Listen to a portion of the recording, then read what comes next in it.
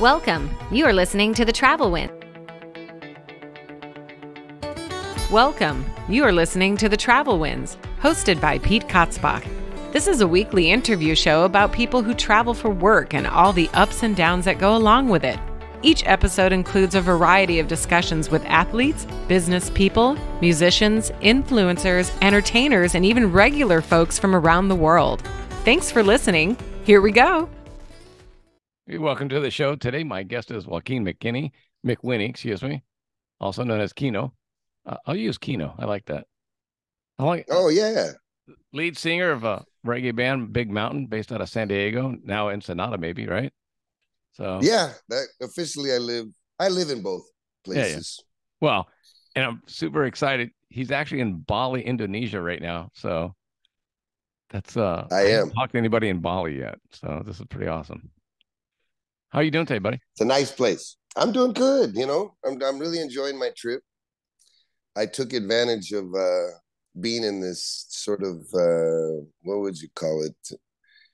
Just tranquil environment. Yeah. I've been I've been uh, indulging in the yoga and the papaya.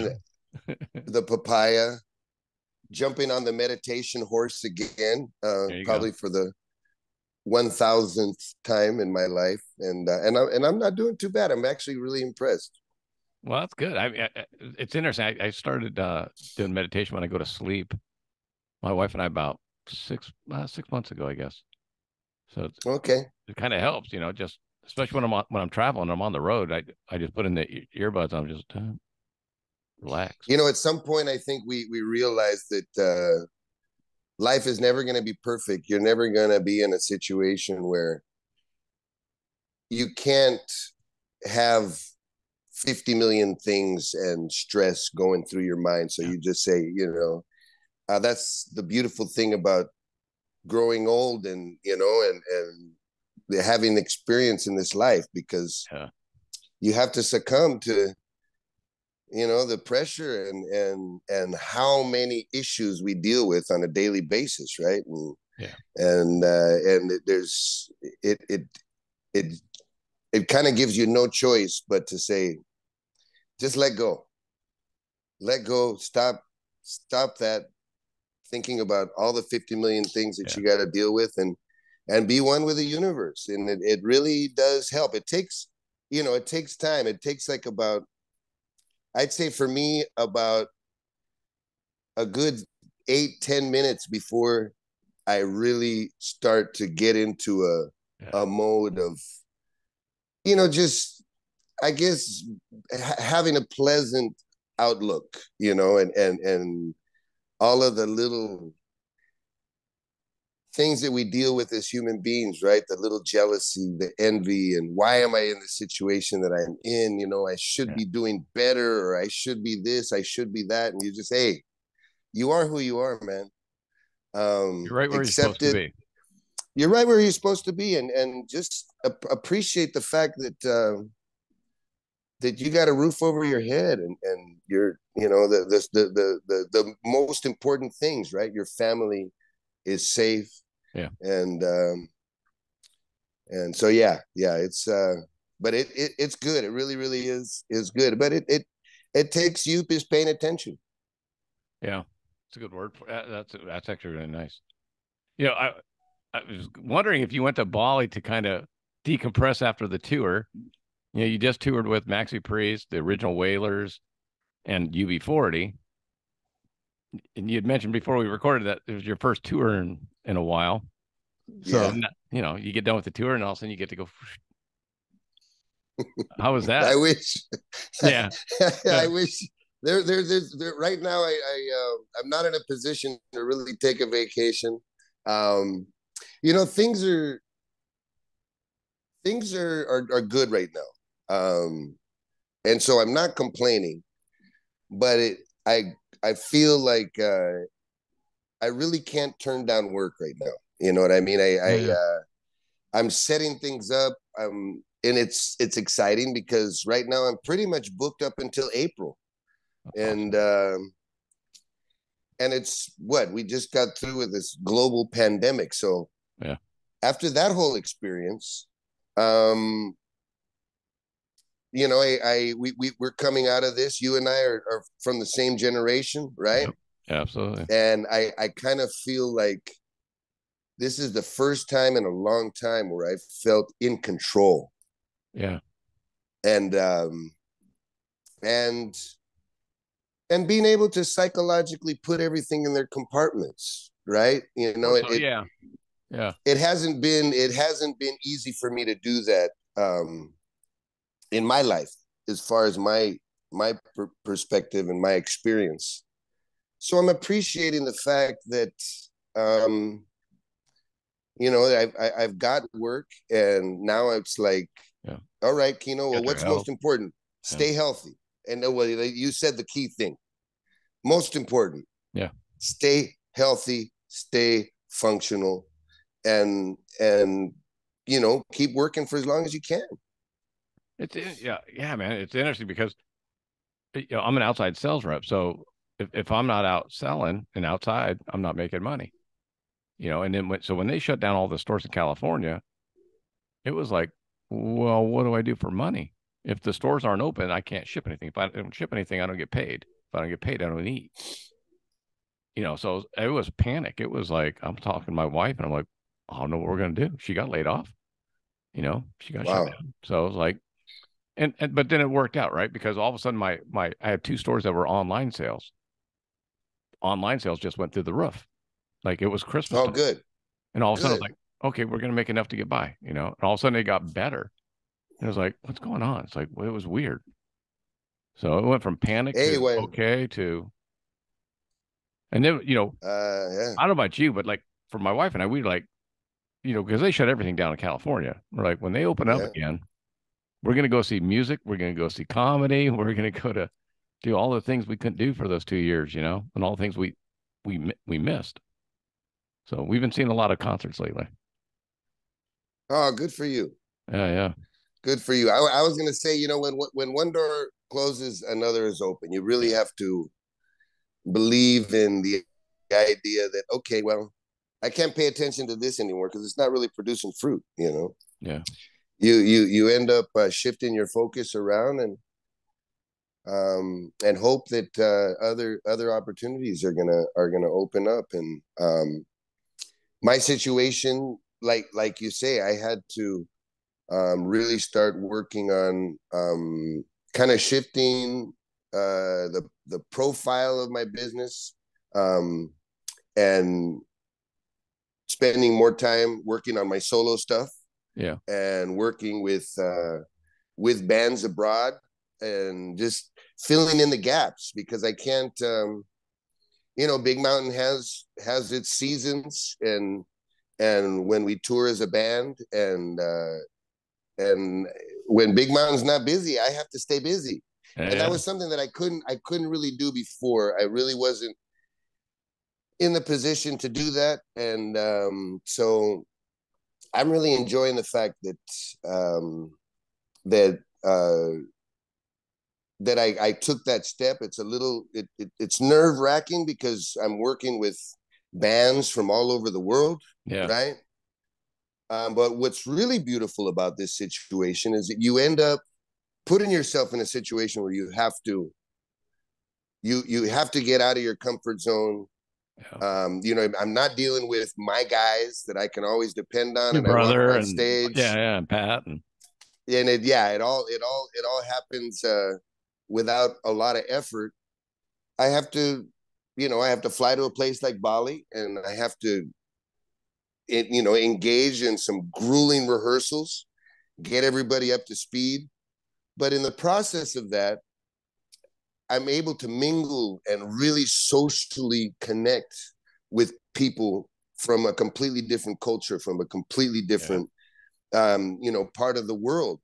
That's the the best part about this style of touring for me is having that new perspective and getting to know people and share experiences share culture share share my knowledge as well because usually i'm dealing with now i'm dealing with people that are a lot younger than me no So- comment.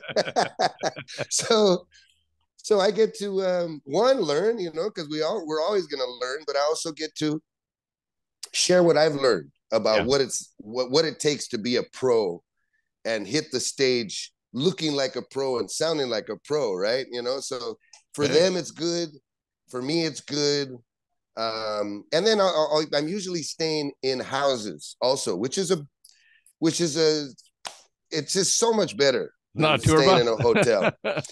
no, no, no tour bus and and no hotel. You know, like I'll Yeah. stay in hotels a little bit here and there, but um, a lot of times it just makes sense for me to stay with a family, like what I'm doing right now. I'm staying Yeah, with the the manager of the band, and and it, you you get immersed. It, it's it's a lot. It's a lot more of a you know what what would I call it? Just an ingrained experience.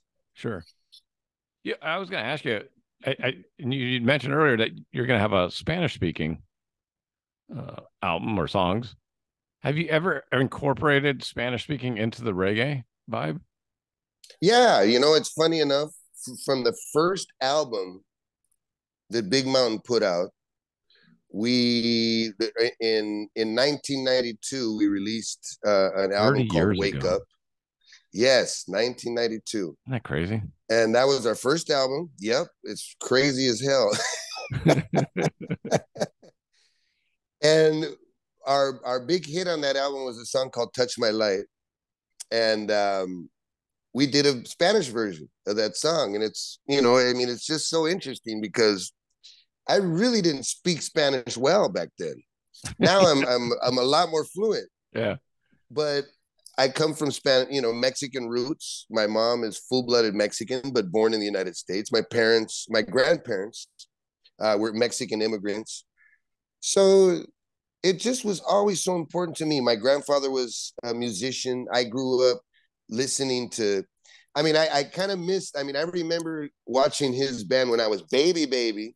But Yeah. by the time by the time I was really conscious of what was going on, my uncles had taken over and they were pretty much doing his they would do his repertoire which was all just popular mexican music from Yeah. boleros to rancheras corridos it was a blend of all that was just kind of hitting at the time and and then they would mix in the stuff that they liked as as young american uh mexican americans right you know jazz or you know whatever was hitting you know disco it, it, it didn't matter my my uncle Yeah. oscar Yeah. who who's a, the, the piano player, and then my uncle Eddie played bass, and they're both, you know, just my my really my endearest, my my greatest influences and and and mentors in this, and they've always been there for me. My I, I lost my uncle Eddie uh, not too long ago, but I but I still have my uncle Oscar with me. So I I you know I said shit man uh, I want to put some Spanish on this album and Yeah. and I you know I got together with somebody uh, and we we we translated the song and we came up with a cool little version and it's still it's still hidden today. We did a I did a remake of it uh, about five years ago and you know it's on the it's on a playlist uh, Spanish That's cool. reggae playlist in Spotify and and all over it, it, it it's a it's a huge it's a huge song you know and uh and funny enough you know years after that spanish reggae took off so now there's reggae bands in argentina and Yeah. puerto rico and this and i mean i'm not trying to toot my own horn Uh oh. but i'm i'm kind of looked at as the pioneer of reggae in spanish because of course with baby i love your way we did a spanish version of baby Yeah. i love your way and that was the first time the spanish reggae was broadcasted all throughout the world right so it, it's it's kind of it's kind of silly when you know when i when i go to latin america and i play and people you know all these bands are coming up to me and saying man you you guys were our Mhm. first influence and i go wow is, this is really weird you know because i didn't even know how to speak spanish back then I, I interviewed Gerardo, and he had he had a really s- similar experience. You know, b- hmm. being having half the song was in Spanish. You know, right yeah so yeah you know i mean the whole immigrant experience is interesting like that because i think you know i don't want to get political but the Latin American community is very marginalized, right? We're we're in so invisible in so many ways. Um, we've been here forever. We've been here before there was the United States, right? Yeah. And uh, and for some reason we haven't been included into the national myth per se, right? So um, a lot of us really take that personal, you know, and and and people even even some of us that are second, third generation. I'm yeah. I'm third generation, right? And it's like, no, man, we're here. And I was there. I remember listening to my grandfather being in the packing shed. My grandfather was a farmer. And and I'm not gonna I'm not gonna put up with this, you know, the this uh me being called something other than I am. I'm an American. I'm an American and we've been here since the beginning and we've contributed and we contribute a lot, right? Yeah. Well, and and I'm going to yeah. make sure that that our our ingredient in our cultural part of our culture is music, and I'm going to make sure that it's present in in in the uh, in media and in the mainstream, you know, life that we're living. It, it's it's interesting because I, I was born in, in Arizona in Phoenix, and then San Diego, and then Orange County, and you know California. So immigrants and, and, and Mexicans have been part of my my entire life. I mean, when I was in junior high at Pershing Junior High in San Diego, I remember that. We had integration. My cousins went to Pershing, yeah. So we had in, we, they integrated. They bust in kids from all over. So we had kids from Barrio Market Locos, Barrio Encanto Locos. We had all the different areas of San Diego were all bust into my school, and then they didn't all get, get along. But you know, so but but integration was just part of it. So it's kind of weird and then you know if, when I travel for work and I go to areas that are 98% white, it's weird because all of a sudden I'm not. But th- you understand that they they've never seen. They don't. It's not where they grew up. Yeah, so yeah. Well, it, it's and you've seen it around the world. You know, it's changing. It's changing. Yeah. I mean, I went. I just did a tour across the United States, and you know, there was there wasn't any community that I went to where you didn't experience this multicultural mix of people. So I can understand how to some people um call it nostalgia, call it fear, call it xenophobia in its worst um you know incarnation. But I understand that that that things are changing. The world yeah. this the, the United States is changing rapidly and drastically and you know um but it's part of our makeup right we we cannot survive I mean, it, yeah. not only are we not our not only are we an immigrant nation and that is the foundation of the united states but on top of that we can't survive without immigrants because our standard of living makes it so that we feel embarrassed to do certain types of music i mean certain types of work, work. yeah right so a lot of us feel like, no, I'm not going to pick the vegetables. No, I'm not going to wash the dishes. I'm not going to babysit. I'm not going to be a gardener. So all of those jobs are reserved for people that don't have papers, that, that aren't legal, yeah. don't have legal status in the United States.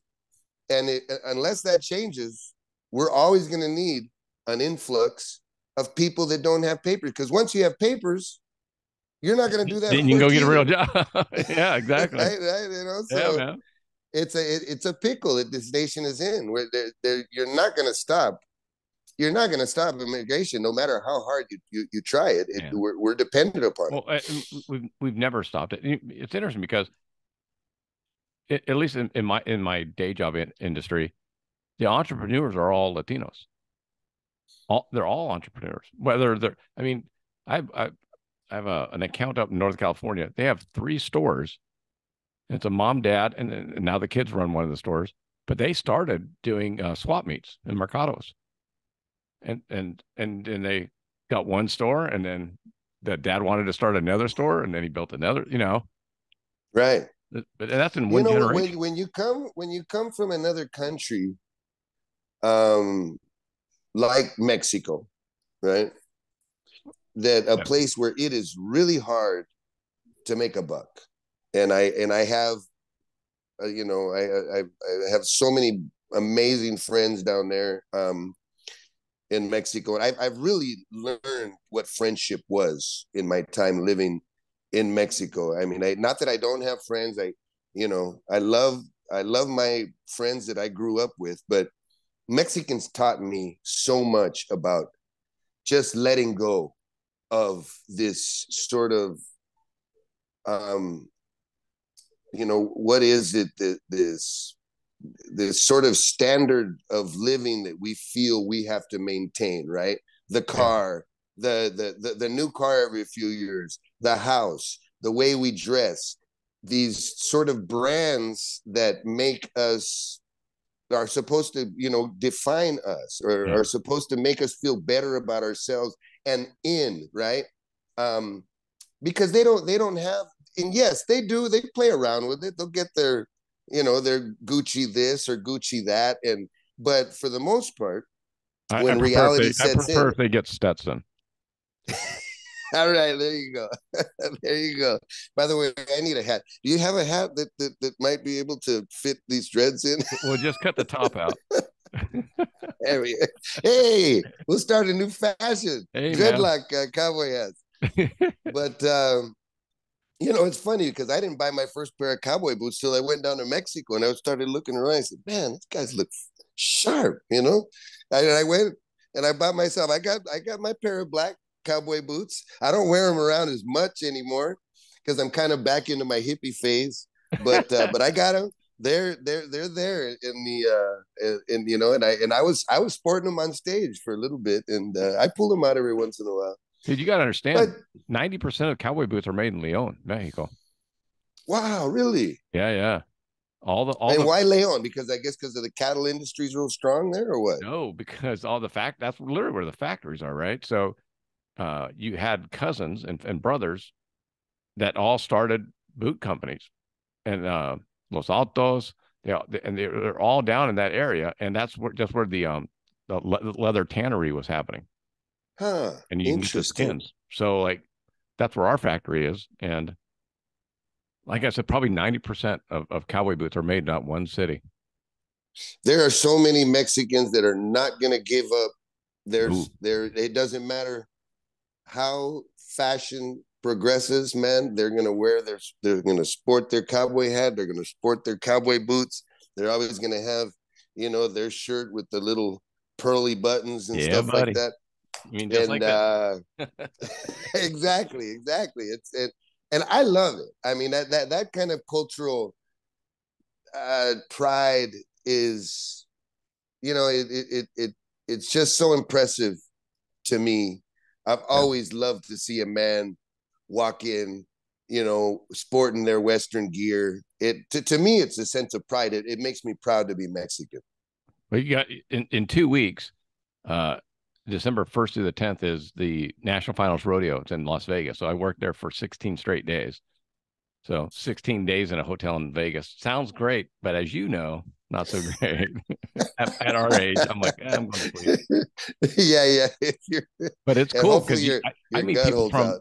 Literally around the world. And you know, another big place for um uh, cowboys is uh, Brazil. Oh yeah, yeah. They got a lot of, yeah. lot of bull riders and everything. Well, they you know and and agriculture's huge. And then you know talking about music, right? I mean, yeah. um, it's so interesting. Every country has its strain of yeah. country western That's style right. music, provincial music that tends to um, be very, um, you know, for some reason, uh, music from Slavic countries, uh, polka, yeah. Uh, you know, that that type of uh, the, the, those uh three chord, you know, one four five oriented type of music is what people in provincial communities yeah. like to listen to. And it and it sounds the same in Brazil. They're singing in Portuguese, but they got that same twangy thing going on. You know, they they they put a little bit of blues in there yeah. And and and sometimes it's it's the biggest music in Brazil. I mean, I've had an opportunity to spend a lot of time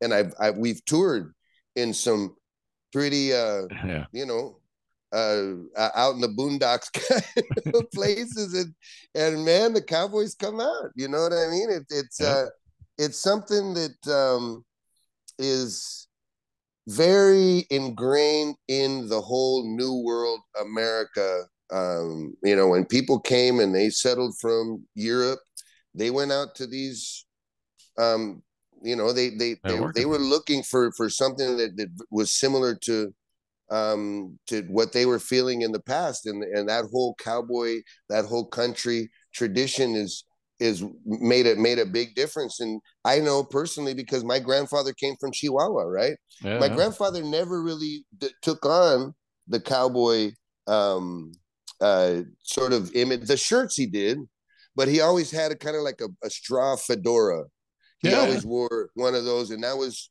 what his generation were wearing. They would wear the khakis, right? And they'd wear the round, the round. And, and I, he might have had some, uh, you know, some cowboy boots for for for going out and stuff like that. But it was always kind of like the round worker sort of yeah, uh, round toes, yeah, yeah, the sort of boots and and but you know that that was that was and he always had uh, the short sleeve white shirt with the khakis and there was a pocket here and it was always had a pen and a little notepad and a handkerchief either in his back pocket, you know. Um, we still we still sell those every day. Nice, you know that, that kind of stuff is that, and and that's what Chicanos wore forever in uh, in, yeah, in, the yeah. United States, and it, it, it's and I still have friends, homies today that uh, they got that. They'll have the little pinstripe white shirt, but it's always got to be sort of white based. Yeah. Uh, uh, exactly. we sell a lot of them, especially in my territory. So what? That's what, great, man. So what we're doing today, Quino, is we're announcing the country release of Quino McWhinney's new music.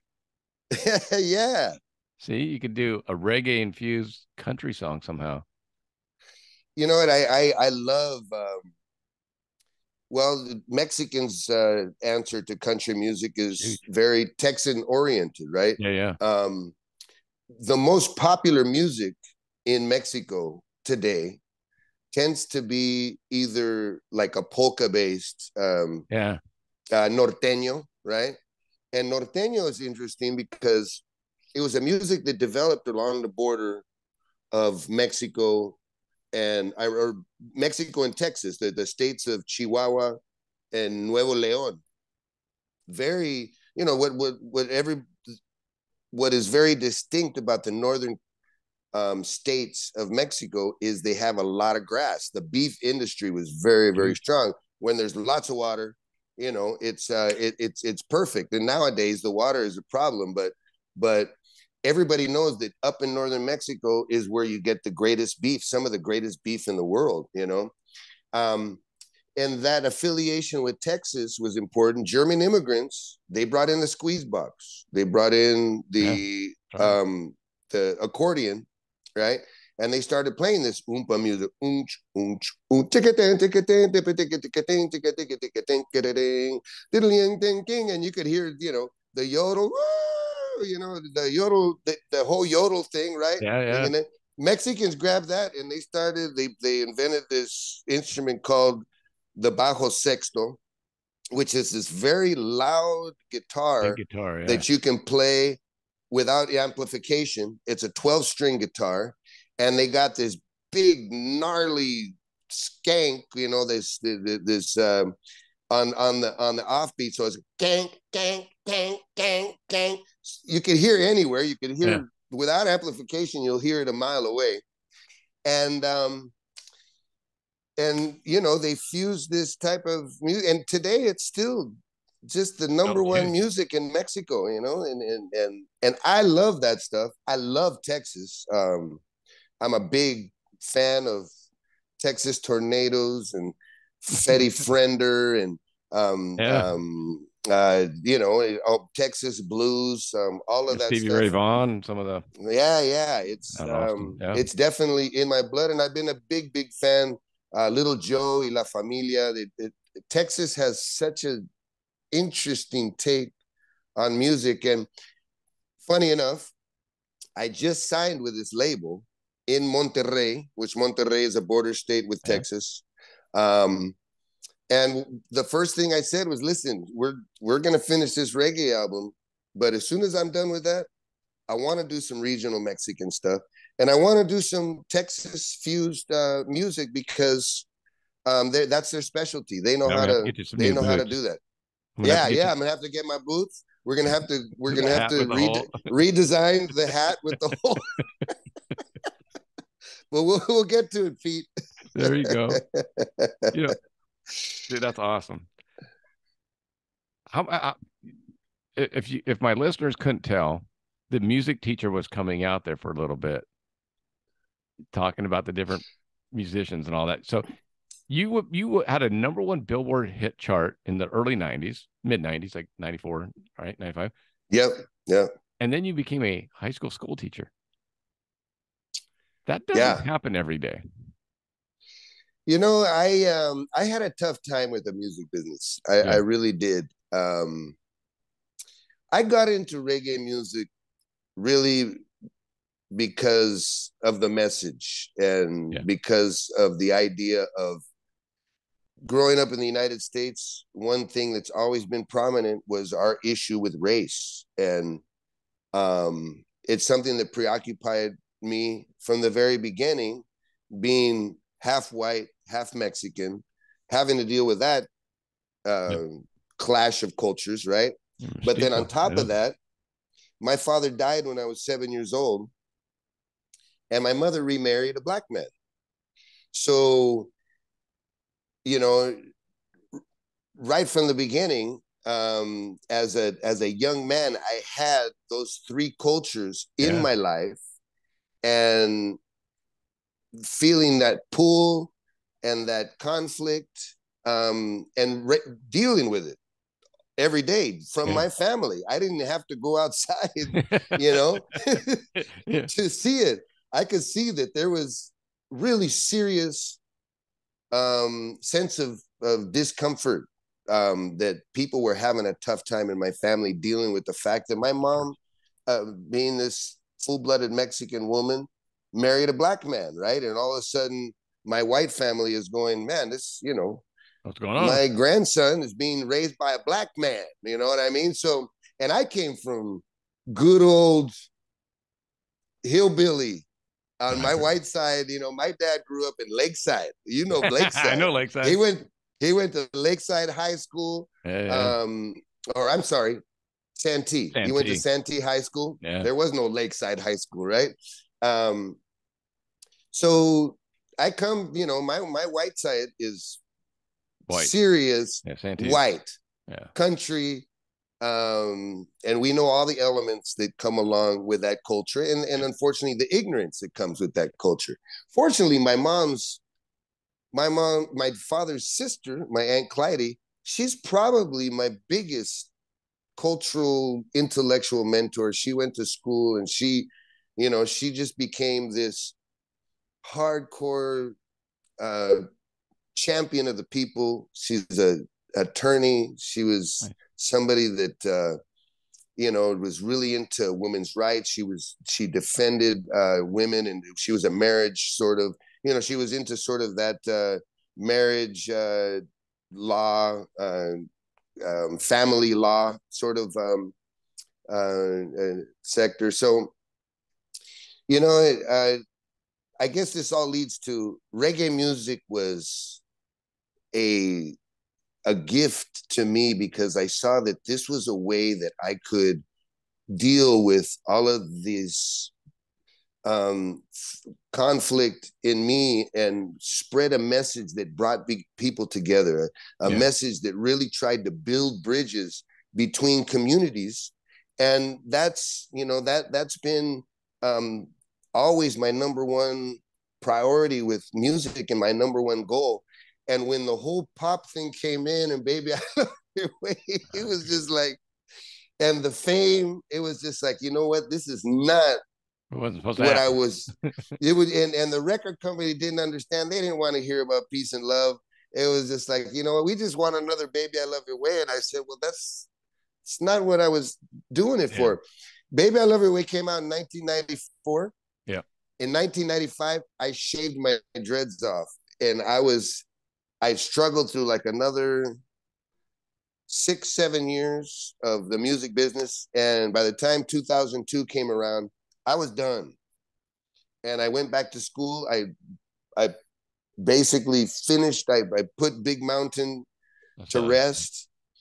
And I went back to school. Um, I got a, uh, a, a uh, teaching credential and I started teaching high school. And for 10 years, that was my, that was, that was my focus. And, and I'm really glad I did it you yeah. know, because I I uh, I was able to come back later to music refreshed and and not having a bitter feeling about music and not being overworked, not not allowing this music business to taint my perspective of who I am and yeah. what I'm doing music for. You know, you know what's interesting? Maxi Maxi Priest on my show said the exact almost the exact same thing. Wow. He, he he's was, my good friend he was in Jamaica during COVID. And that's when I talked to him. He was stuck down there. But he said he, you know, he took some years off because he just got tired of of the touring and and the the headache of the music business. And he was using the COVID yeah. time, the time off as kind of the, to, to refresh and, and kind of get recharged about the music and, and making it about the music instead of the business of it. It's we just interesting. You said the same thing. That. You know, I mean, you, you know that me and Maxie we lived in a bus together for seven weeks this yeah. year. Yeah. so we share uh, we share a couple of musicians, uh, our drummer and and and keyboardist, um, Paul Castick and uh, Goofy Campbell. And so and we it's been like that for the last 20 years. So yeah. And not only that, Maxie Maxie was a big influence uh, to me. Just um, it, I we I toured with him so much throughout the '90s, and he was a big help for me in terms of learning how to be a just a good, you know, a, a showman. You know, yeah. learning how to make everybody feel good and get into the party. You know, he he uh, he was a big influence in that way, and uh, he's always been a dear friend of mine. And well, you know, it's interesting. It's it's. I'm just putting this together now. He didn't like his. Uh, he didn't want to record Wide Wide World which was a cover. Yeah. You know, and and it, it, he literally said, "I didn't want to. I didn't want to sing it. I I I was done. I I wanted to make write my own. I wanted to do my own music." And the record label made him do it, and it became his biggest hit. Now, thirty years later, he still has to sing it. You know what? And we talked about that too. We yeah. talked about how and, and, all of all of all of our best songs on Spotify are the songs that were forced upon us by the record, record company. Yeah. And uh you know, it it it, it made us kind of, you know, I, I I told him, I said, I guess we probably should have listened to them a little more, or not. they kind of, they I guess they knew what they were doing after all, but you know, um, that's that's the part about music that it's tough a lot of times. We didn't we didn't specialize in yeah what it what what is a successful song at radio, right? We got into music because we love to sing. We were influenced by the people that we were influenced. And it just turned out that the people that we loved most in music were not radio people. Yeah. They were they were reggae musicians. And that and that's who inspired us. And they, you know, and and even Bob Marley during his lifetime, he never cracked the top 40. Nope. You know, so so it's and Legend it, was it, uh, remixed it, over in, in England. You know. Yeah, yeah, yeah. You know, and made to sound now, more more poppy. And and that me and Maxie, we were part of that generation where yeah, me too. We had to disguise reggae yeah. in order to ha- have it be accepted. But by some radio. of your songs, and I was going to ask you this also, is some of your, you had some ska kind of elements and like resistance and and some of the it sounded to me, and I'm not a musician at all, but it sounded like you had some ska elements. And so, like, I know reggae can be from classical type music to, I mean, reggae isn't just Bob Marley. There's a whole, you can, yeah, well, it it's, it's, it's all the evolution of Jamaican music, you know? Yeah. Um, ska is probably was invented in Jamaica in early 60s, you know, late 50s and it's funny because there's a whole story about that they say some people say they kind of they just started manipulating early like r&b doo-wop sort of music. Like if you listen to Bob Marley stuff, Bob Marley's early stuff is ska. His Yeah. biggest, his first hit, "Simmer Down," "Simmer Down," can, can, can, can, can, can. Slowly but surely, they started to slow down the beat, you know. But back then, all they were worried about was dancing. Yeah. Um, that that was before they yeah, you gotta be started to to. They started, you know, that was before they started to inject a lot of the very uh, spiritual and social political message of Oh, yeah. of the '60s. But in the '50s, it was man, it was the Skatalites. The Skatalites was the main huge. backup band in uh in Jamaica and they backed up everybody, right? And um it was Bob Marley and the you know Peter Tosh, Bunny Wailer, and uh, we, we were just talking about it last night. Um, that uh, Bob Marley's bass and drummer, uh, Aston Family Man Barrett Yeah. and Carlton Barrett, they were brother duo. They were they were crucial, critical in um in the evolution of taking ska and turning it into reggae. But there was also other spot, you know, there was Rocksteady uh for a while and Blue Beat. Um so it was it wasn't just Well, like- straight from ska to reggae. There was No, there was an Jimmy, evolution. Jimmy Cliff kind of had more of a uh, a calypso kind of feel, Mm-hmm. you know. So there's, Yeah. there's different different vibes. there was a lot going on jamaica is an amazing place and i Yeah. i talk about this a lot um in my live music i always you know sort of give a shout out to jamaica and just how much they've contributed to popular culture and not just on a music style on sort of an attitude style the whole hip hop Yeah. thing is very much uh, influenced by Jamaican bad boy culture. You know, it was Uh, just Steel Pulse, got Third World, Aswad, oh yeah, you know. Yeah. That that was the band era. That was Yeah. that was the that was the era that really influenced us. We were super influenced by Steel Pulse, Third World, and Aswad. That's exactly what you say. There was a couple other bands. There was a band called Chalice back in the day. Um, Well, Yellow Man kind Yeah. of more with a rap t- rap vibe. You know. exactly, dancehall, the Yellow Yeah, Man, yeah. and, and then Sly, Sly and Robbie, which I just got. I just was had the pleasure of recording with Sly um, last year, um, and he was so important with bringing in that what later would become hip hop. You know, the the the, the boof boff, which you know for a while everybody was stuck on the one drop, and then he's the one that came in with the kick on one, snare on three, and just he just kind of forced it in, and and everybody Yeah. started everybody started playing. It was like more of more of what was happening, sort of like that R and B thing. He wanted to get off of the one the the one drop because Westerners couldn't dance to that. Westerners couldn't dance to Bob Marley for Yeah.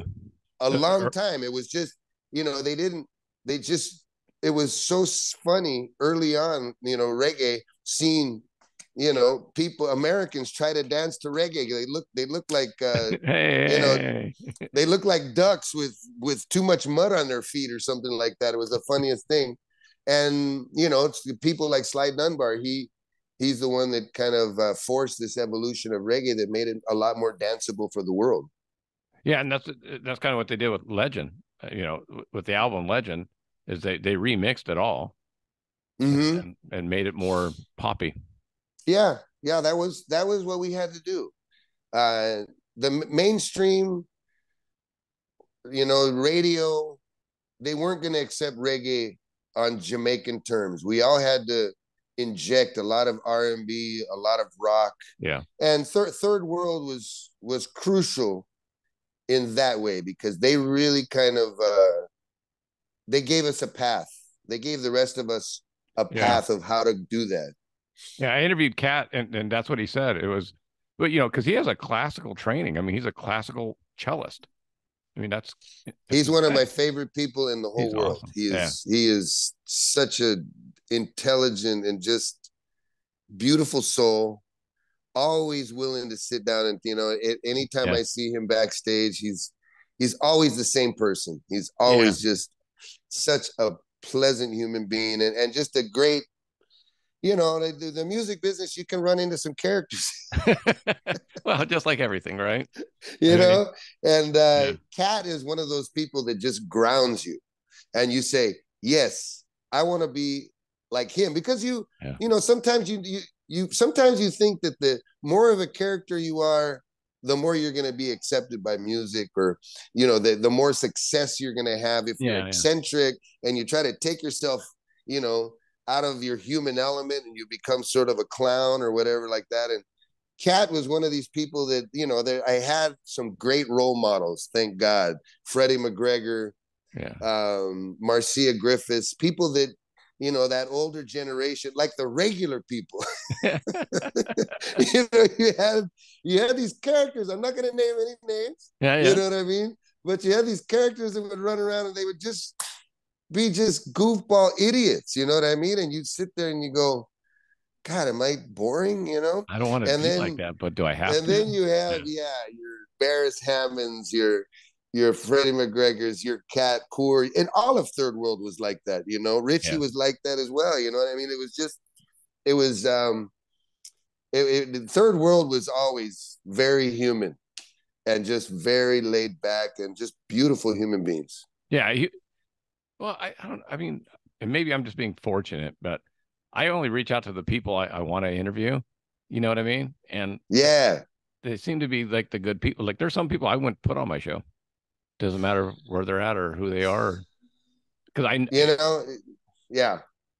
What are you gonna do? You know what I mean? It, it, it takes all kinds, and I understand a lot of times the most successful geniuses in the world tend to be eccentric and tend to be kind of you know really look out of the box. And and that's cool. And we need those people in the world. But um but it's no way to kind of have a lasting career. You know what i mean? It, yeah. in order to in order to survive in this business you have to have your head intact you know? You have to really uh, be a, a, a a real human being because it, it that that eccentricity can only take you so far and it ends up closing a lot of doors. Yeah. Um you know of course you have your people that are just so talented and so successful it doesn't matter what they do the kanye west. Uh see i'm not i'm not saying nothing. Yeah yeah yeah yeah you know what i mean? It's just like you know guys like that you go wow. And people are still endorsing this guy? Whatever. Okay you know uh, he's a musical genius. So I, I, can't I can't uh, you know I'm not going to criticize him on that level, but but you sit there and you go, wow, you know what I mean? It, it, it it's uh, well, you've kind of how, how, this question. This is something I bring up to. I've brought it up because I've interviewed a couple of really super famous people, right? I can't I can't even wrap my head around it because you kind of you got really famous and then you went back and taught high school. You know what I'm saying? And, and uh-huh. I just saw you play at the Hollywood Bowl. it's like so I, I couldn't even wrap my head around being famous for 20 or 30 years, like Kanye famous, Michael Jackson famous, you know, that that level, Prince, where you can't go anywhere. Eh, right. know, and, and everyone's saying yes to you. Everyone's like, oh my God, yeah, oh, you're so great, you're so smart. And, oh yeah, those mm-hmm. shoes are wonderful, those big rubber clog things that he built, you know. Someone had to go, Kanye, what are you doing, man?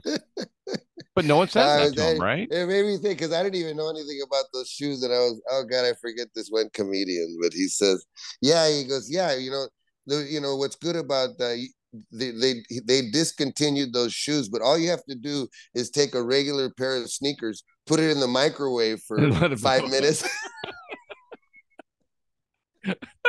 but you know what I mean? It, um, but I, I, me, I, I mean, I, I can't tell you what it's like to be on stage at the Hollywood Bowl.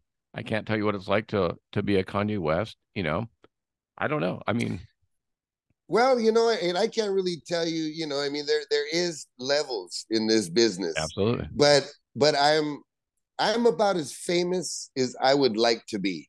Right. Fair um, well, wait till the country song comes out, man. Hey, you know, I mean, and that's fun. I mean, that's like God. I think about you know I'm at a point in my life where um it's still a month, you know, I still have to be really careful about everything. I'm, I've, I've kind of got myself, you know, kids.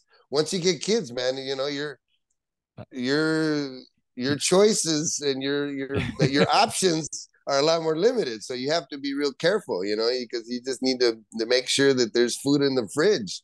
Yeah, but... and uh, and the lights stay on, and you know, and, and and stuff like that. But um, but I'm at a point in my life where I'm able to entertain the idea of messing around with genres that you know we all like like me and like everybody we were all influenced at one point we were all sitting here going man i love that fucking tune. And this you know and, and we were sitting there going this music is doing things to me and it's bringing things to my life that are so beautiful and and just inspire me and and, yeah. and give me joy. And it doesn't matter where i'm at or you know i put on this song and this song makes me happy right?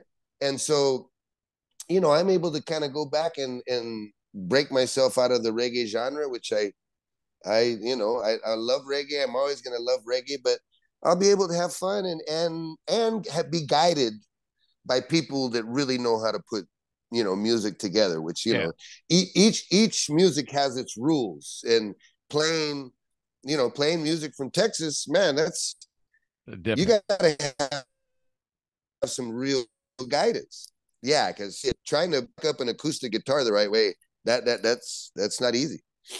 Wouldn't even know. I i broke too many fingers playing football. Yeah no well you know it, it's that's the beautiful thing about country music is that they still use real instruments. You know, I, I think a lot of uh, musicians from my generation remember being in the studio and recording with a band and real using a real drum set, using just a good old Fender jazz bass and you know and real miking up, yeah. you know, a, miking everything up. and uh, eight track and, and country music. Nat- Nashville's famous for doing that, and pretty soon Nashville's going to be the only place in the world that does that. And every you know, it's rare to find a situation. Usually, you know, when we're writing songs and we're starting songs, it's a bunch of dudes on a around the computer going, yeah. and you're going, dude. you know what I mean? And you, the, yeah. the, you start you start songwriting like that with this fucking stupid drum loop, you know, and and it's it's it, it's it's pretty sad. I just I watched uh, the uh, Beatles Get Back movie, you know, uh-huh. and uh, and watching them, you know, how they actually came up, yeah, human beings sitting there grinding it out, you know, and just oh my god, I I, I it's funny because I used to be, and I know this happened to so many people. Um, for some reason, we all became Paul McCartney not haters, but right, you know, it was like John Lennon and his mystique yeah. sort of took over and and people like me that have tried to be this peaceful warrior, we always kind of look towards John Lennon as being the our favorite yeah. Beatle. After that movie, I completely changed. You know what I mean? It was just like I just became such a, an admirer and you know, consider Paul McCartney to be such a hero, right? You know, and and John for sticking in with him. But you could see that that Paul McCartney was fucking the horse, and the rest of the guys were sitting in the cart. Yeah, you know I mean? I still like, uh, uh, you know, because we are the same age. You know, when Wings came out, Paul McCartney and Wings, right? He had he had so many good songs. Yeah, like just solid, great songs. Right. And you're like, okay, well, who you know, and, and John did his own thing, and then Ringo, and I mean, everyone had their own. Yeah, own George. Yeah, George. They they say that George was George sold the most records. Yeah. After after after, after the, the Beatles. Beatles. broke up, yeah. Uh, but uh, yeah, but, but no, I, but you know, Paul, Paul, McCartney, you could you could tell that that he was at that point at least um he was the he was the genius you know he was yeah. and he was the one that worked the hardest. He was the more he was the more focused you know. John was john was really distracted. He was yeah. he was dealing with things other than music which i understand what that's all about because i i've had it yeah. I've i've had that problem my whole career. It's like you know you're a musician right? Uh, you know why don't you put the sign down stop marching and fucking come record a song Yeah, yeah, yeah, yeah. Yeah, well, you know, that's and that's that's life, right? You um you get you get distracted, you get off course, and then all of a sudden you realize, okay, you know, it's been a while since I've had any real success, and I wonder why. It's like, well, maybe because you should put like more than two hours into writing a song. well, yeah, I don't. I mean, I I wouldn't even know. I, I literally like I my daughter ha- has the, the the song skills of writing songs, recording, singing. She does. I mean, full thing, producing. I don't. She didn't get it from me. You know, I love music and I listen to all kind. My, you know, another good um another documentary that's cool to watch is um Metallica. Hey, but you but you have a cool microphone. Your microphone is way cooler than mine. So I got this from uh, Steve Stevens, the guitarist from Billy Idol. Oh wow! So I interviewed him. And, cool. And, and, these are the mics, uh, Sontronics in England, and uh, so they sponsor him, and they came out with a podcast mic. So he hooked, he kind of hooked me up. But I love the color. I just I know that. Well, see, my whole show is green, right? So that's how it is. But nice. my, my first 80 episodes, uh, keynote were with the same headphones you have on. And I literally, I, I just told this story yesterday. I taped it to my face because I wasn't used to, I'd be walking around. And so all of a sudden I'd go back and listen to my show and the audio, because the mic would be swinging. So oh, right, right, right, right. The levels were just terrible. Oh, I, okay. I scotch taped it to my face so it would be even. But yeah, that, that, that, that, that, that, I'm sure that looked real professional. It wasn't video back then; it was audio only. Oh, okay. Now, uh, now, now that I'm doing video, I have to have the the nice mic. No, you're looking good, man. Shit, you know, you're giving uh, Howard Stern a run for his money. That's for damn sure. I don't want to do that. I don't. I'm good. I used to like Howard. I used to listen to a lot when I. How do you fill up your time when you're traveling? When you're on the bus, are you writing music? Are you bu- bugging out? Are you just zoning, meditating? I mean, you know, you I um on the bus, your bunk is like your yeah your only uh space of zen sanity. yeah, yeah, yeah, and zen exactly. And there's not a whole lot you can do while you're laying down. Um, yeah. So I finished uh Vikings, the whole series. there you go. And the other one, the the the Last Kingdom.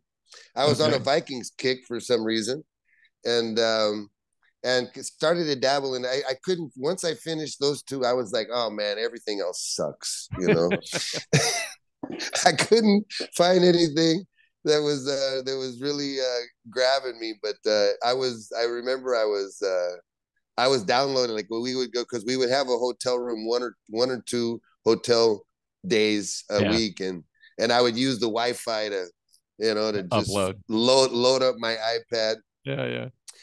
And uh, you know, um, I I I spent a lot of time in my bunk. I really did. I kind of I, I got this this this kind of comfort zone there. I'm I'm one of these people that I can only deal with with so much social interaction, and then I have to turn off. I I I love like I love audio. Oh, I did a lot of audiobooks. I do a lot of audiobooks. Yeah, I'm an Audible. I give my fifteen dollars, my fifteen hard-earned dollars to Audible every month, and I Jeff Bezos at Amazon appreciates that. Oh yeah, I'm sure. But Bezos, I'm sure he's he's hurting every month until I until my uh, fifteen dollar payment comes in. Yeah. but uh, but you know, like I right now I'm listening to um I spirituality is is is really into it. I mean, really, really cool. I really enjoy it. I and I'll listen to everything. It'll be like the biography of Muhammad or yeah. and then next like Karen Armstrong has a lot of really cool stuff, the history of this or that, God or Christianity or Judaism and and uh um I'm getting like, you know, being here um got me into the the whole history of yoga yeah. and uh and you know the the some of the legends Buddha. I've been I've been watching a lot of a lot of different stuff on Buddha, and I'm we're actually I'm going from here. I go directly to India. Oh, that's gonna be amazing. Big Mom, Big Mom's gonna do like uh, three weeks in India, So I'm going from like this is like India light to India. right? Getting you ready for that next level. And I've been to India before, and you know, my first trip to India, and I think maybe anybody has it. It's overwhelming. It's yeah. like the sensory candy is just too much, and you're, you're you're you know you're just trying to deal with what you've seen, and then the music. I forget what kind of music. you know, you're just you're dealing with a lot of lot of different uh, inputs into your brain and your senses that uh, that, that you never. So it, you know it, it's it's a little overwhelming. So I'm kind of excited about going. And actually, I, I didn't mention this, but my grandmother was a big India buff, and she went to uh, she oh, wow. went to India. She was a huge hippie. She went to India in search of her guru. Uh, she went for Sai Baba, and then she ended up running into Bhagwan Osho, and and that changed her life. And I'm not going to say anything more about that because it's a little bit of a controversial subject in my brain. Um, but uh, but I'm trying, you know. But I've I've made peace. With, with so funny. Uh, I I was telling the story yesterday to the my host here, and he goes, "Oh, is that the guy that has that video about the flexibility of the word fuck?" I said, "Probably." I don't, know. Probably. He was like the uh uh Bhagwan is is like the the Howard Stern of um I got you now. of of of uh, of gurus. Yeah, yeah.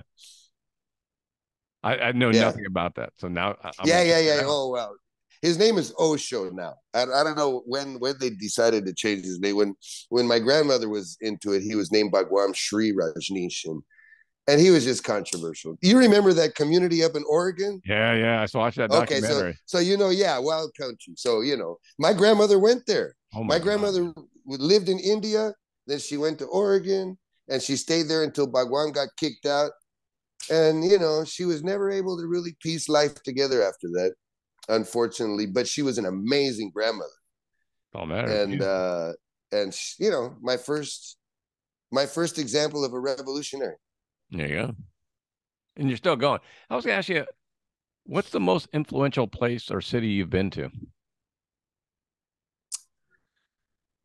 Boy, probably Kingston, Jamaica. Oh, all right. That makes sense. You know, um, makes sense. Jamaicans have this interesting blend of spirituality, you know, politics, um, it, that uh, that was good for me. You know, I I, I kind of had decided that listen, I'm going to be a messenger in this life, and I'm going to try to prepare myself the best I can to give a message that is just provocative enough to challenge people's yeah.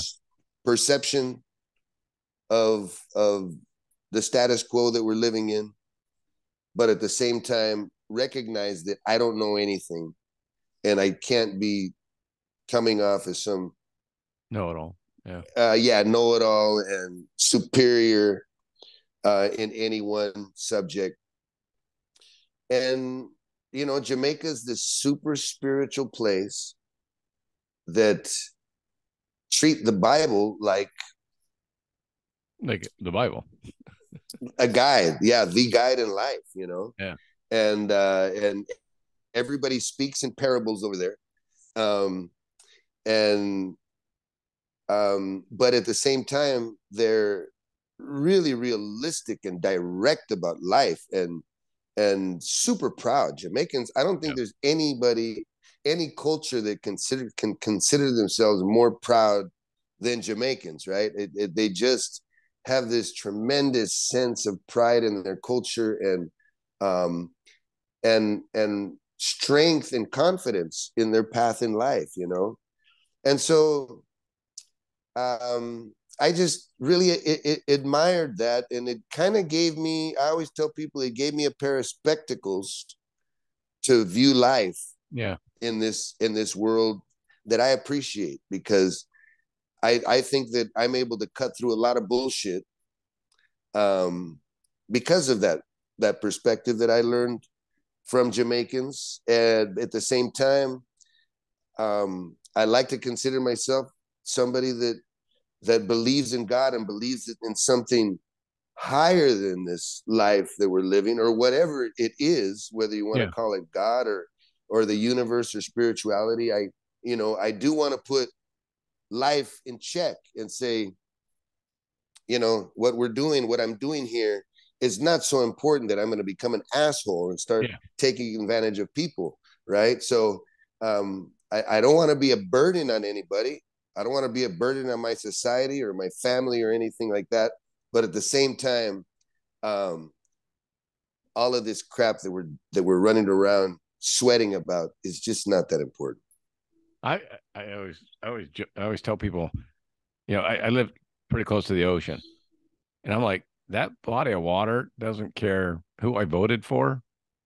It, they don't the, the whales and the sharks that are in that water they don't care whether i'm a democrat or republican. They don't care about anything other than the basics. And I think that's what we kind of we we overthink things so much and think our opinions matter more than everybody else is. So I don't know. I just I'm just kind of chill, like you know the the the mountain. You know, like the name of your your your group, you know, has an interesting backstory, but that mountain's still there. That mountain's not going to care in 50 years or 100 years or 200 years or 800 years about anything. So that's a good way to think about it.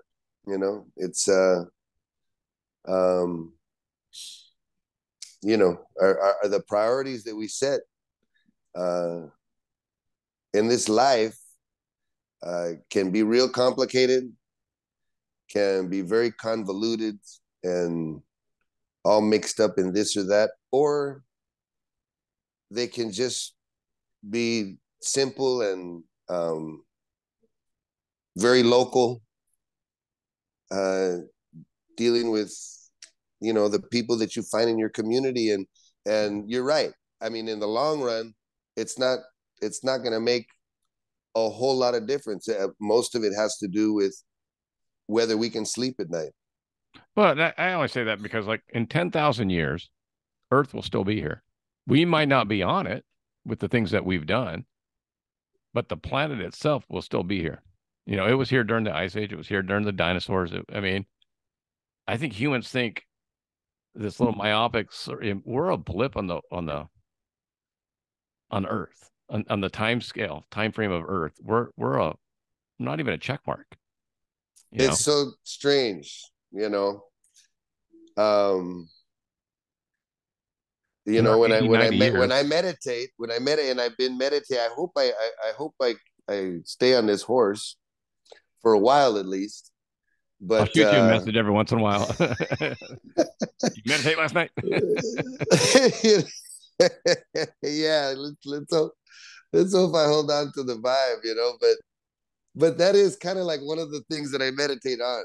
It's like, yeah. you know, really, Quino, if you were to die today, um, you know, would you be okay with it? You know, would yeah, yeah. would you, would you uh would you really regret you know something? And of course, you know, usually the things that I that I think about is my kids. Yeah, are my kids gonna be okay? You know, and they they are. You know, fortunately, thank God. You know, I got kids that that, that um, I think are conscientious and um, and they're they're industrious enough. They're, they'll get through it. They'll get through it. yeah. They'll have to deal with with hardships that we all had to deal with, right? Shit. Growing up in San Diego, I know. I told you what. I know you you you you grew up in what San Carlos or Del you know Del yeah. Cerro area, right? Uh, it wasn't easy, man. The '80s was fucking a hellhole, right? I could tell you, like Henry was a predominantly white school, predominantly, but not all. But then when they bust in, we got probably 18 to 20 buses every morning, right? And they literally brought in gang members from other areas of eh, all into one school. Right. The last day that, that I spent in school before we moved up to Orange County, there was a fight on the volleyball courts between the Laotian, Laotian gang and I think it was Market. I think it was Market, or maybe it might have been Encanto. But they were picking up the volleyball poles and swinging them at each other, and they had knives and throwing stars. The Laotians brought their throwing stars, and it was like twenty Yeah. on twenty. And I'm like, I, I remember I, I tell that story all the time. You know, one one of my favorite things to eat is pho. yeah. Oh, dude, I can tell I you. grew up, and my mom, my mom still lives on Altadena, man. Right, you know, between 50th and 51st, right there on El Cajon Boulevard. yeah, yeah. You know, where I went to high school is just right there, right? And uh and I remember being in the seventh grade. We went, you know, summer break.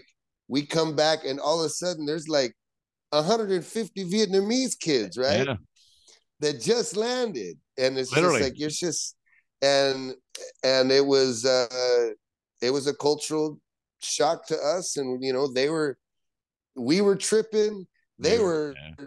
tripping a whole lot more than us right? Everyone had attitude. been- and um but that's the beautiful thing about San Diego, right? We were forced to deal with all of this cultural Yeah. mix and um you know and and and then you know the drugs. I mean, I I remember being in high school was like maneuvering through you know just all of these pressures to do this or Yeah. do that and and you know I, I think about my kids and and, I didn't have how they because my dad, negotiate. my dad would have ruined me.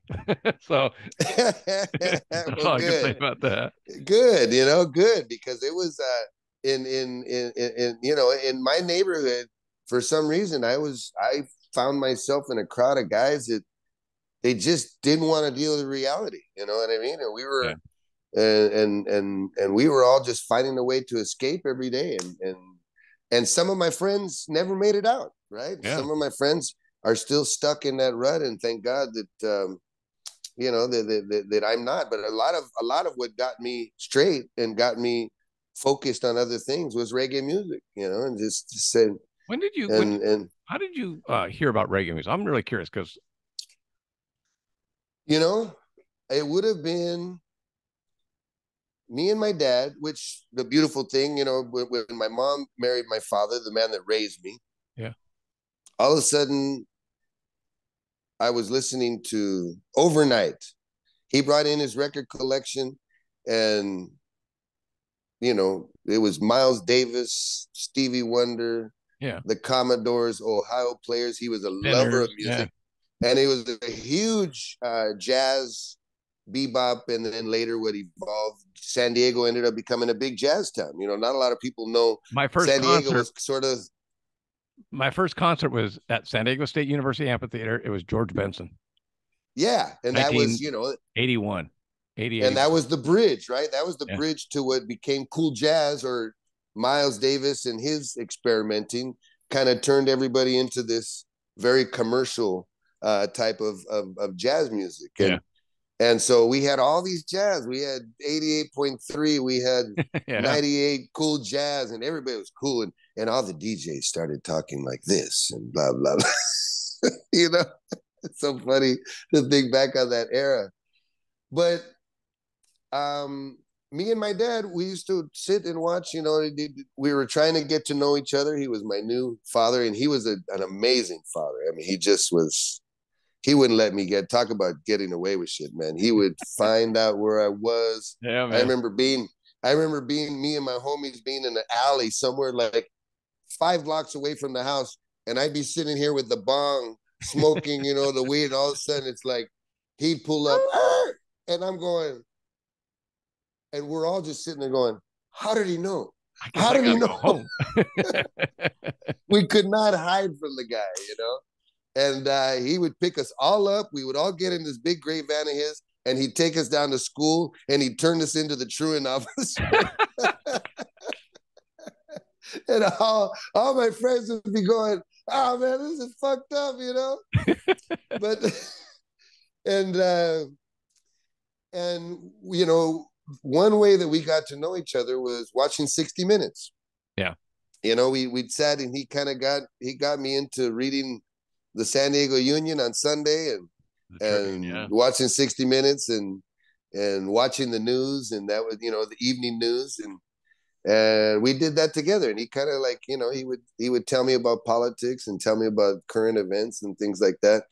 But one time, 60 Minutes had Bob Marley and the Wailers, a, a special Bob Marley and the Wailers, Rastafari, Jamaica, all of that, ganja, right? Yeah. So, oh man, when I saw Bob singing, it was like I was mesmerized. I just, this guy, his dreads, the ganja, this revolutionary. For some reason, I was always, I always kind of had this very left leaning uh, uh, approach and and and um, political, you know, constitution to me. Yeah. And I think a lot of that had to do with um, my my biological father when he graduated from um, Cal Poly Pomona.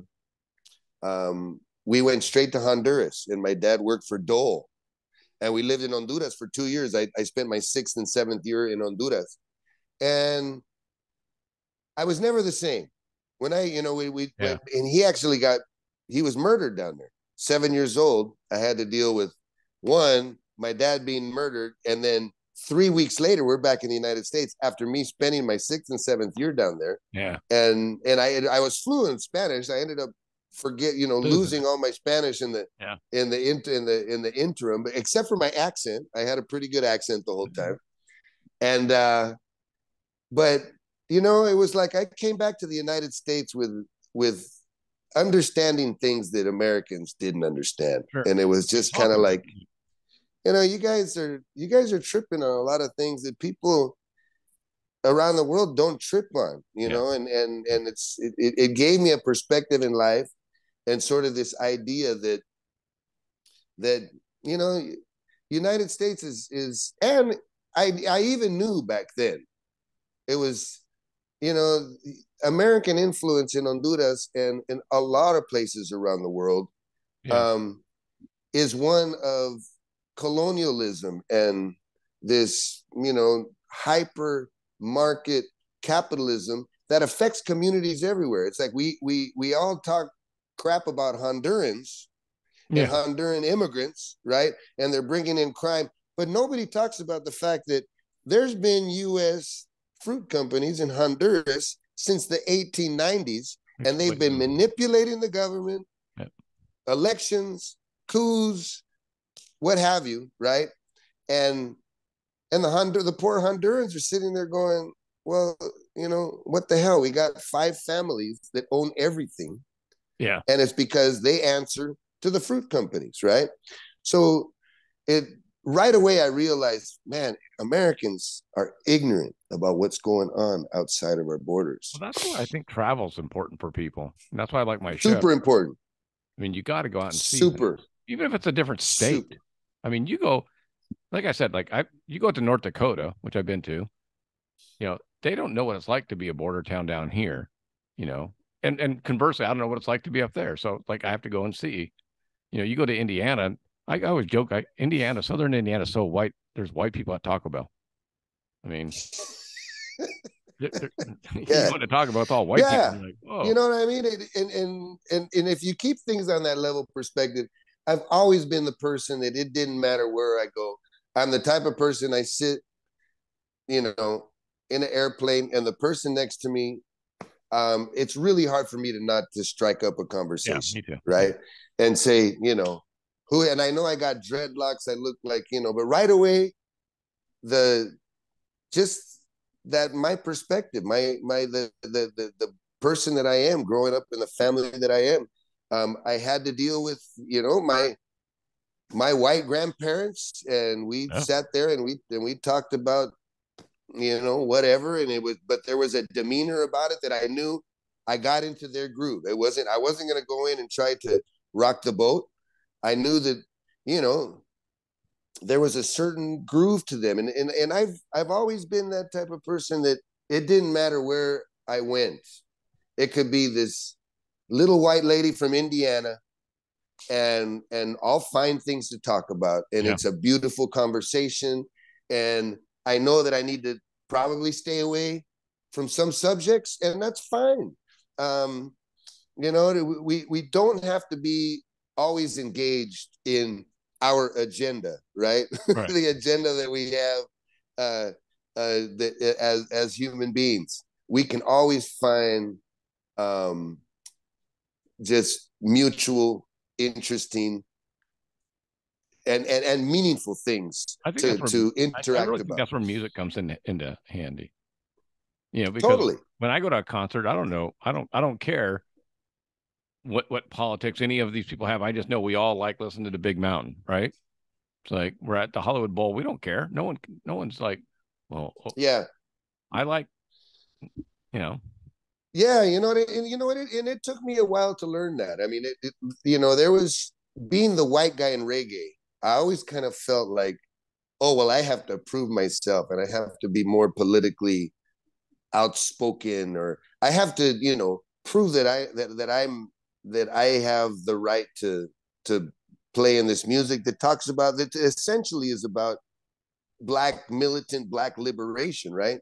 Yeah, but, and, but, but knowing Bob Bob was biracial. I mean, he didn't. Yeah, he didn't. He didn't have his dad in his life, but right. He, he but was, you know, I mean, over the years, I've, I've I've come to realize. Listen, people are not here for that, Quino. You know, let let do let your records do the work. If people want to listen to that, let them listen to that.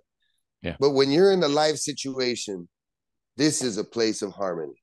This is a place where we all, this is a safe space where everybody should be proud, one, of who they are and where they come from, right?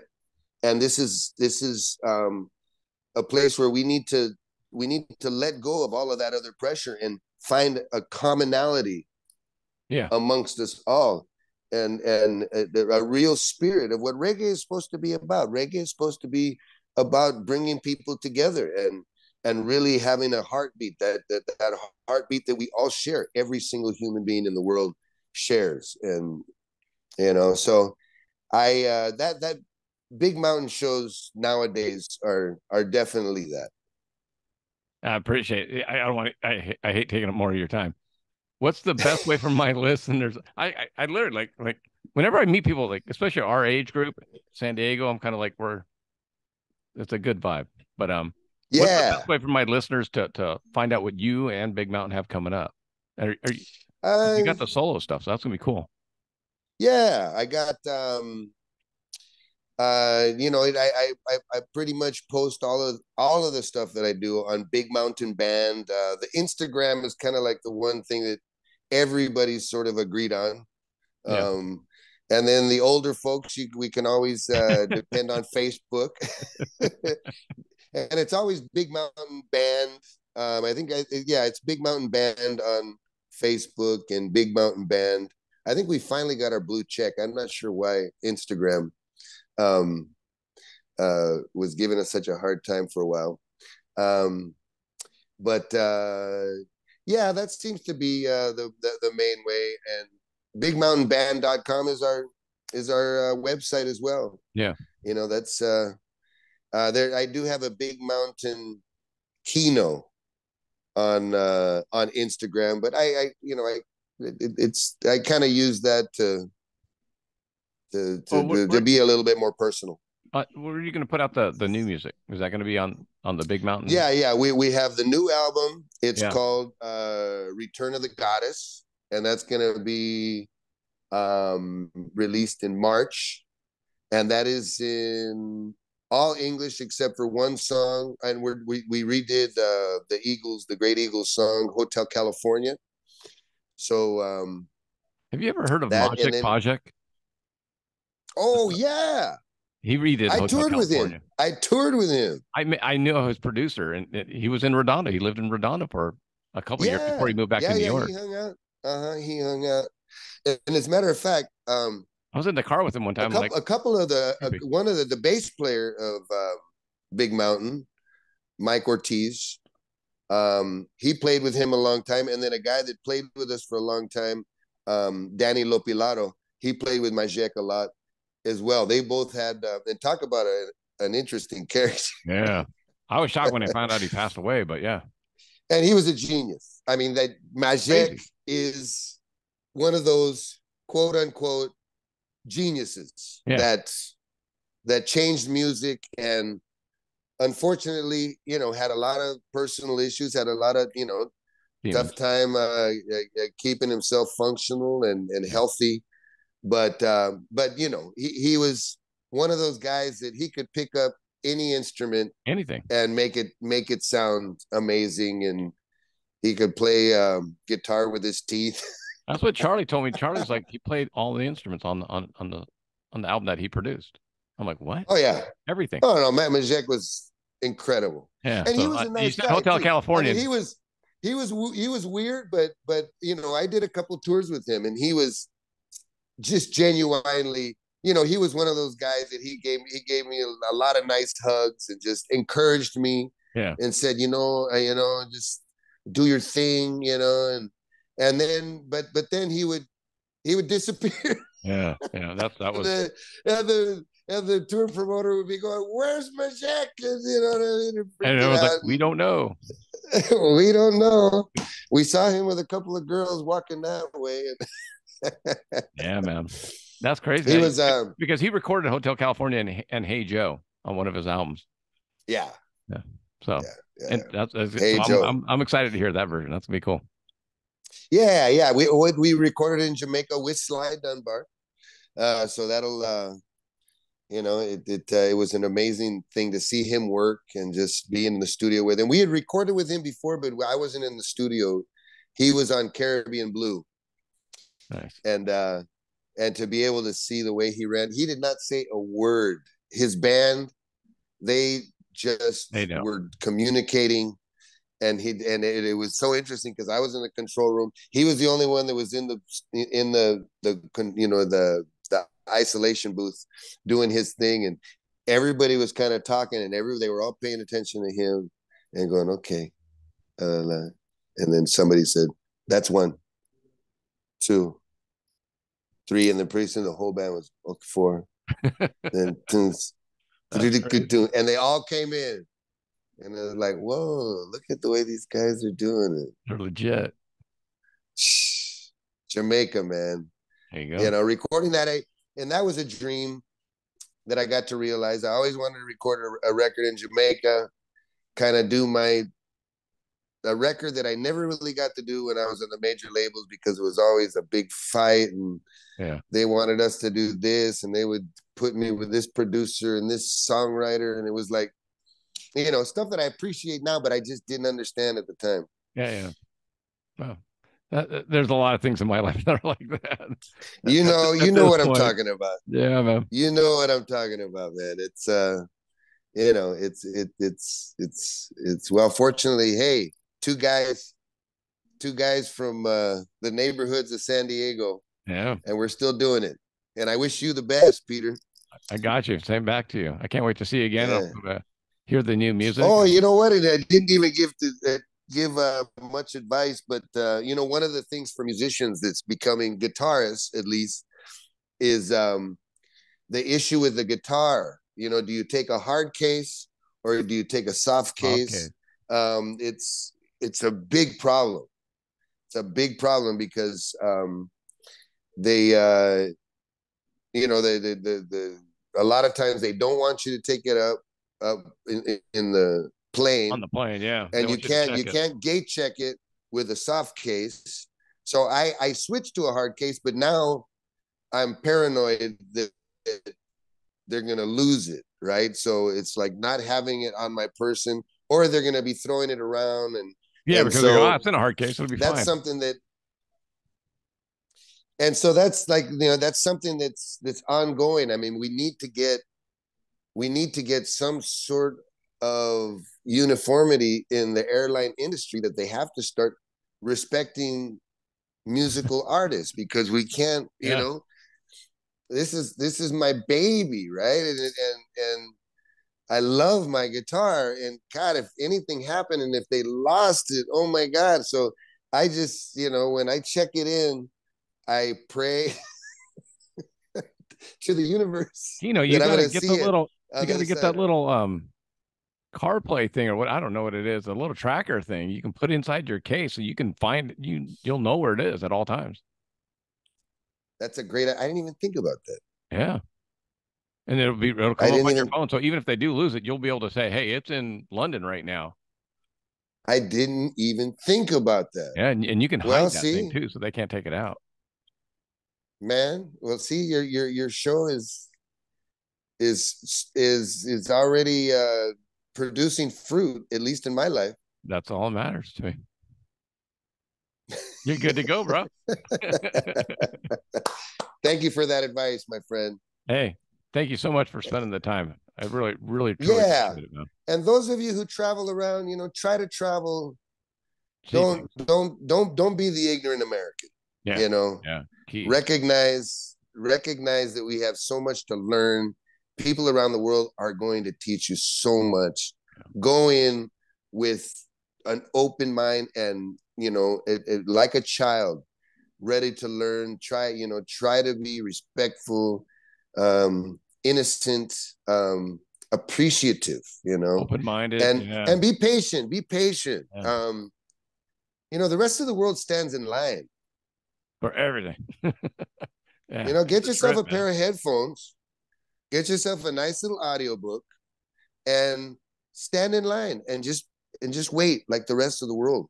Yeah. Don't you you, know you don't you don't have to be in the pre-check uh global whatever entry uh fast mode all the time, right? You know, we as Americans we we seem to think that we deserve something more than the rest of the world and it's just not true.